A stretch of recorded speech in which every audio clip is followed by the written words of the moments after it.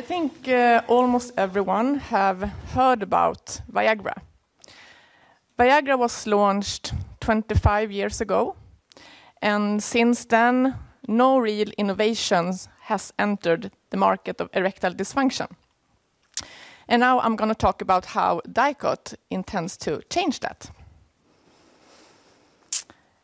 Uh, the subject is quite stigmatized. This is not something we normally talk about. But the fact is that over half of all men experience potency problems in some degrees.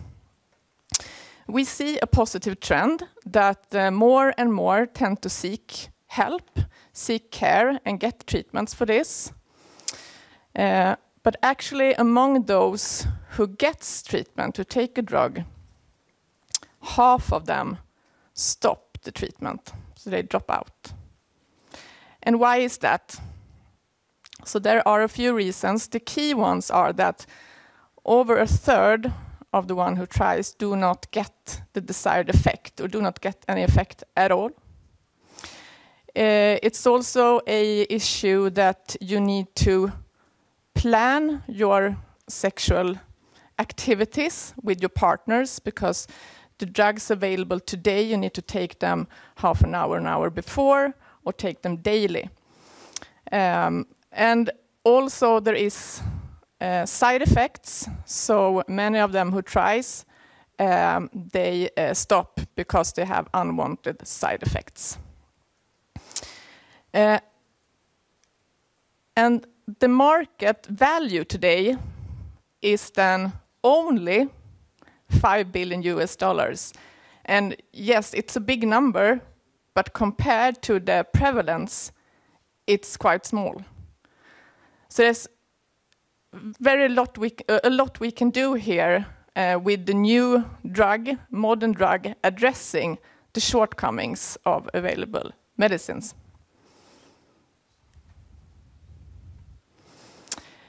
We have a drug candidate, we call it LIB01, with unique properties. Uh, it's a completely new patented molecule uh, targeted to serve three purposes to uh, surpasses today's treatments. And we tend to develop a drug that helps all patients.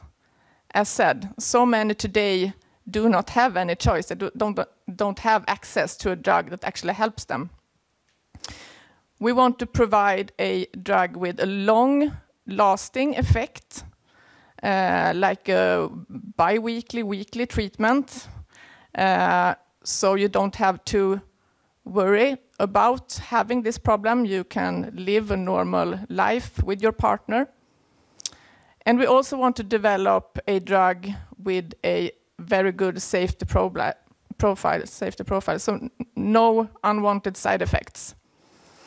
Uh, this would mean to reclaim well-being for the men and their partner that are affected today. This would mean a lot. And, and how can I claim that these three aspects are achievable with LIB01? Uh, we have been doing a lot of research and development on this molecule for several years, and all study results talk the same story. We have, from the beginning, it originates this from a um, folk medicine use, where these properties were reported. We have also seen, see, see this in um, the early academic studies that was done by the founder of uh, Dicot, Professor Jarl Wikberg.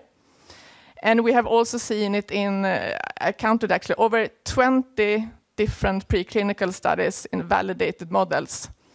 So uh, more, more specific, to help all patients, we, we see that we have a new mode of action nothing compared to uh, today available treatments. And this really opens a new door in this medical field to be able to address the poor non-responders. We have also seen in several independent studies the long-term effect, we have seen that the effect is therefore more than seven days. And we have also seen in the toxicology program that was finalized uh, this spring that it was really good results, a very clean toxicology uh, program. Uh, and all this uh, R&D research that has been going on for, for, for these years have uh, made us check all the boxes needed. And we have, uh, in August now, started our first in-human study.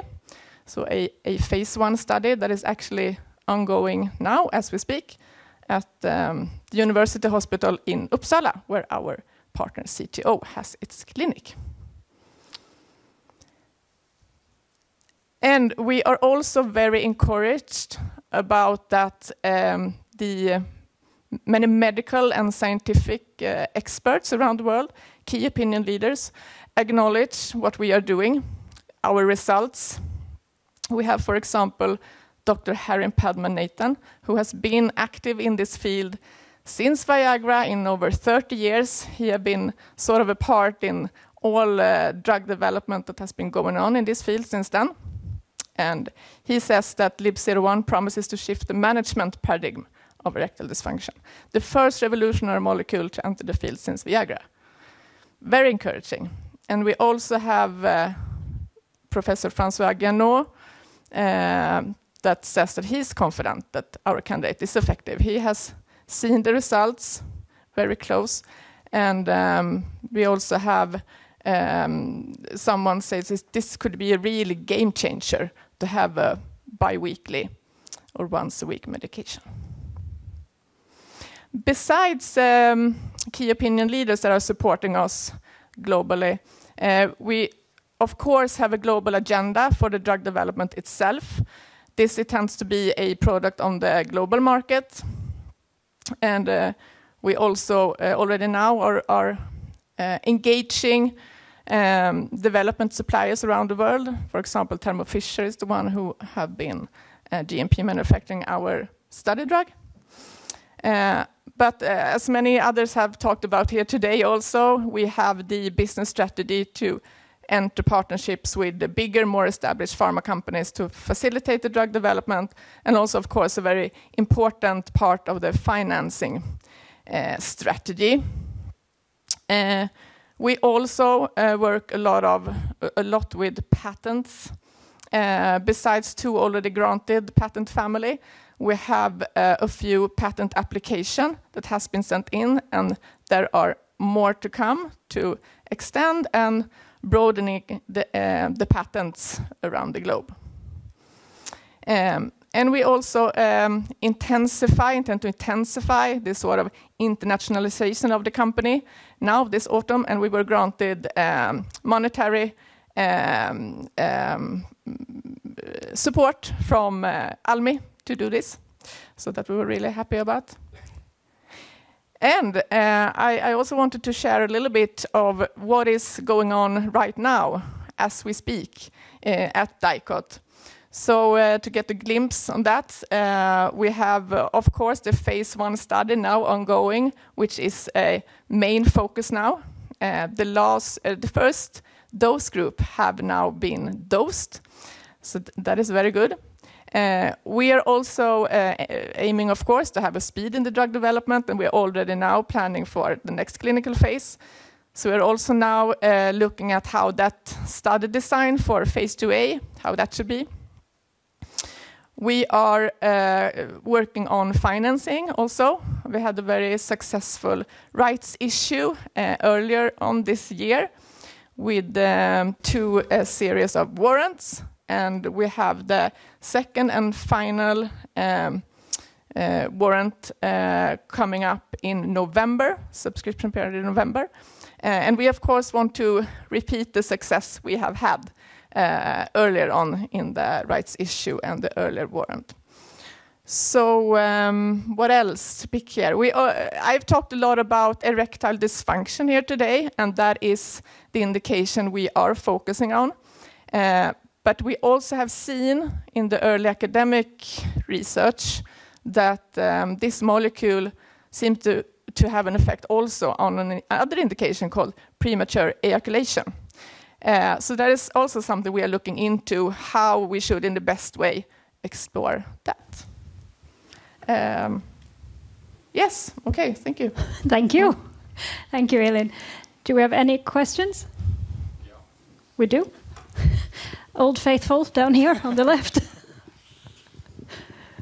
I can't refrain from annoying you with my standing question. How does it work? Mm. What is the mechanism? Yes.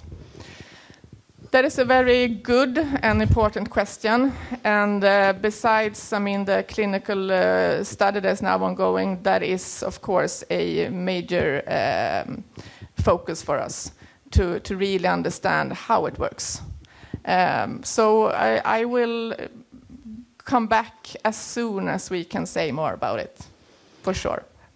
But there have been some interview studies, if I remember correctly, done with people who have used it in the folk use sense of mm. in Madagascar, if I'm not incorrect. Mm. What did you take from those studies? Just because I'm curious. Yeah, I mean, it, it's uh, about the long-lasting effect uh, and in the interviews, it also came out that, I mean, it seems to have a very good um, safety pro profile, so no, I mean, side effects were reported there. Uh, and I mean, it was a very commonly used uh, uh, thing there. And so how do they use it? They drink it? Yeah, yeah. they drink it. They drink yes. it. Okay.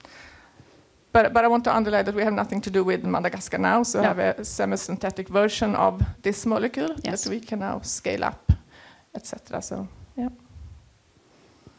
Yeah, so looking at the phase one study now, um, are you just looking at the safety, or will you be able to take some? Will you be able to measure some effect, or, or how are you going about that? Uh, this phase one study is uh, primarily focused on the safety profile. So that is the, the primary objective to study the safety profile uh, in humans. Yeah, sure.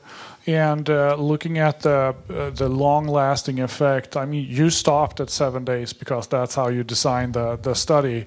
Would would it make sense to make more studies then to see if it can last even longer, or would that not make sense? What's your thought about that? No, that will definitely be be explored uh, in the clinical development to see how long it lasts and how you can, I mean, optimize the dosing regimen, etc to get as long duration as possible. All right, all right. So you said biweekly, perhaps, or could it uh, extend even further based on what you have seen or what you think? Yeah, I mean, what we have seen is that the effect seems to increase over time during these seven days that we have studied. So um, we believe that it can last uh, more, much longer than that and it seems like people are kind of keen on this reaching the market by by the looks of the quotes from the KOLs. But is there anything else that is also exciting that you're competing with, or are you like the only thing with any? Well, how is the competition right now? Um, I mean, as said, there's not so much going on in this area. There is a Danish company called Initiator Pharma that is also addressing ED as an indication. Um, but no, I would say it's it's uh, and and the profile of our molecule is is completely unique. What we can see. And uh, on the other indication, the premature ejaculation, uh, will that be part of the phase two, or will that be a separate track that you're pursuing, or how will you deal with that? Mm, that is also a very good question. We are looking into that right now because we, we said that we wanted to start the clinical phase one focusing on ED, and then we will have some more time and resources to look at PE. So uh, I cannot, uh, we don't know right now, so we will have to look into that, what is the best way forward. I had a final question, which is more of a broader question, because you said since Viagra, basically, there's been no new innovations to reach the market. Is that because it was seen that there was no point because Viagra was so good, so it was the end of that game, or mm. is it particularly difficult to address this indication? That is also a good question. Uh, I mean, we haven't seen so many drug candidates that have reached so far. Uh, and I think the, the, the big companies like like Pfizer and Bayer who have, have worked on this indication earlier they have been focusing on other indications for some time. So I think also it's a matter of strategic focus on in in big pharmas. So um, yeah, but but we will see. Maybe I mean the the focus will increase. Uh, it's a lot to do. Huge medical need for new drugs. Let's hope so. Well, thank you so much, Elin, for your Thank you. presentation. Oh, oh, okay. If you have a short one, we Yeah. will let you take it. In this indigenous population in Madagascar, was this uh, concoction only used by men or even by women? Uh, it was reported that women used it as well in some degree. On that note, thank you. Thank you.